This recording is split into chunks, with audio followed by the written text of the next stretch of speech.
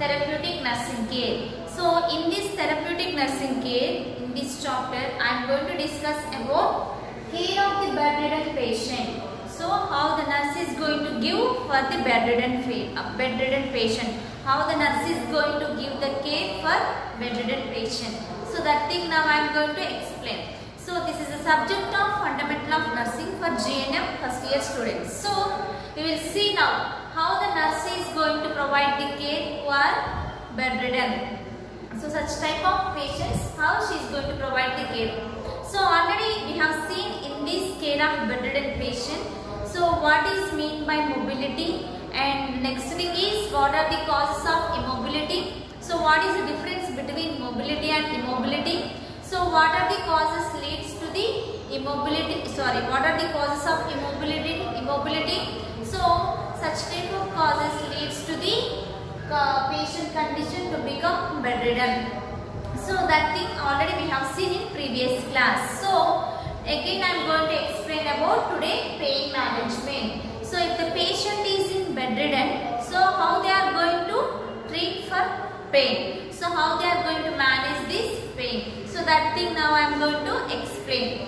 First thing is avoid use of plastic sheets and pillows and limbs under the sorry avoid use of plastic sheets and pillows under the limbs. So first thing is they have to avoid the plastic sheets and next plastic sheets and pillows under the limbs. So this is the first thing they have to follow in the pain management.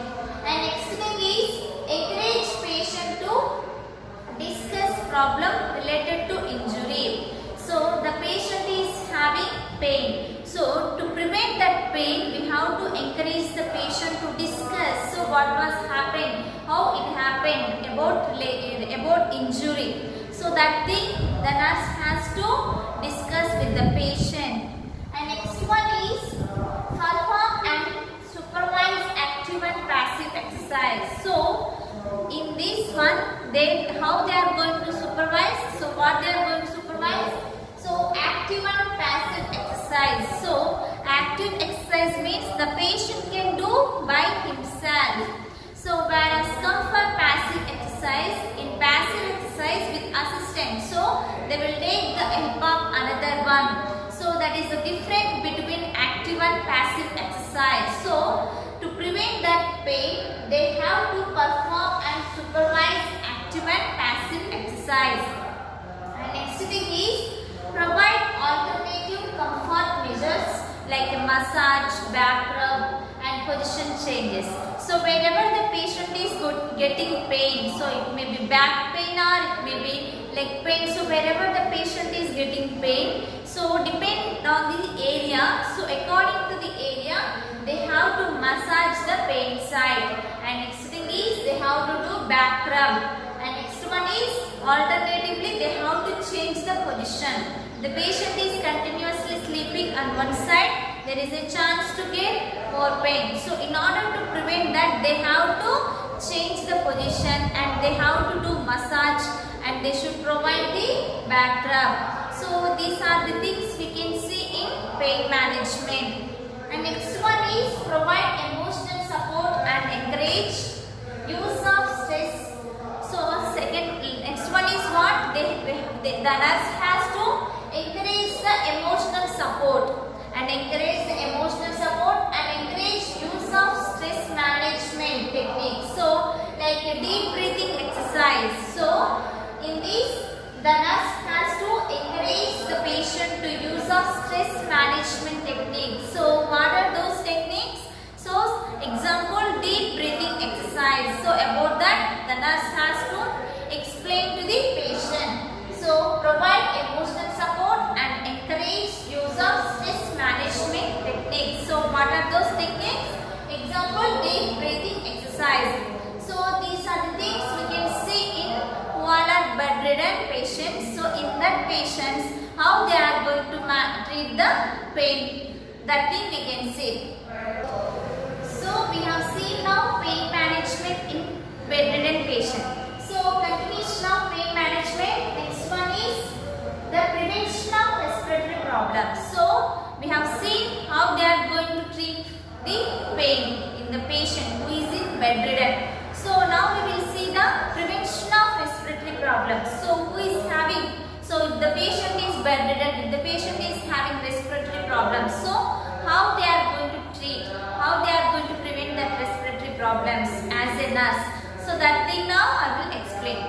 So first one is monitor respiratory rate and effort. So in respiratory problem, first thing is they have to monitor the oxygen levels. So how much oxygen levels the patient is having. And next thing is respiratory, sorry, respiration also. So they have to observe the respiration. So next thing is vitals also they have to monitor. And next one is auscultate breath sound. So we are seeing the respiratory problems. So there is a chance of uh, getting another sounds, abnormal sounds. So to identify that they have to auscultate breath sounds. So they have to auscultate breath sounds of the patient.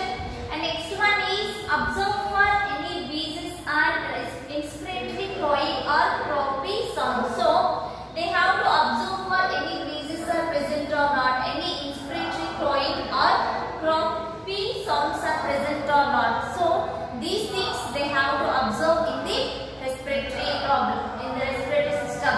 Next one is instruct and assist with deep breathing exercise and coughing exercise. So mostly the patient is having respiratory problems, the patient is not having sufficient oxygen levels, in that kind of patients they mostly advise for deep breathing exercise and coughing exercise. So for that they have to assist the patient, they have to instruct the patient how to do deep breathing exercise and how to do coughing exercise to prevent respiratory problems.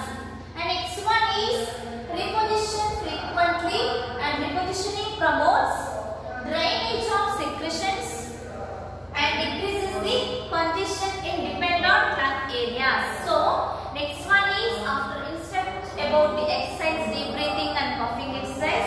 Next one is reposition frequently. So, they have to pay, they have to make the patient position, they have to make the patient in reposition frequently and repositioning promotes drainage of secretion. So, this reposition is the uh, what it promotes it is the drainage of secretions whatever the secretions are present in the patient so that one it decreases the congestion and independent lung areas. So these things we can see in respiratory problem. The next one is assist with intensive spirometry and it is increases the available O2 for optimal tissue oxygenation.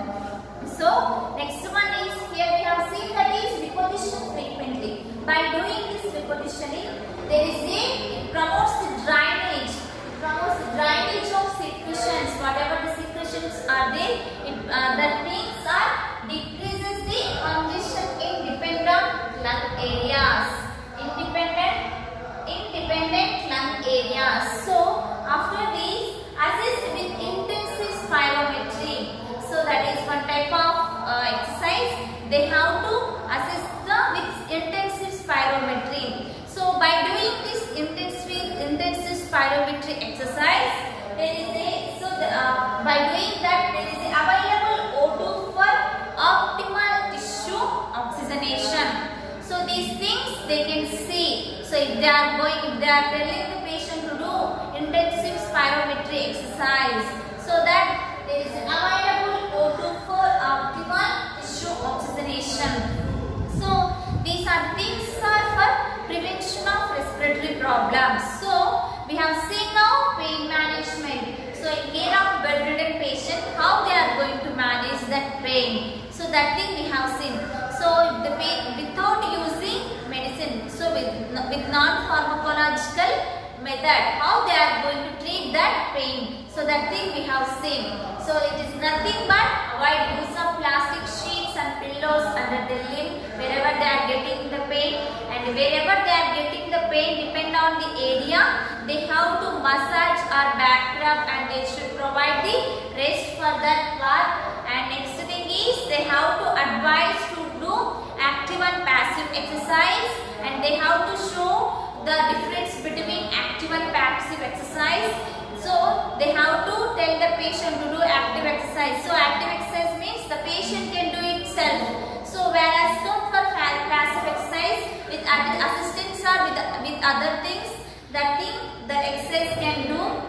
And next thing is provide alternative um, alternative comfort uh, measure, measures measures like a massage, back rub, position changes.